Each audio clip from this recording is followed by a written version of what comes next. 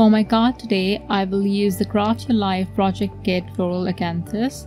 And this has a full joined stamp. So you just place it in the stamp positioner once and stamp multiple panels in one go.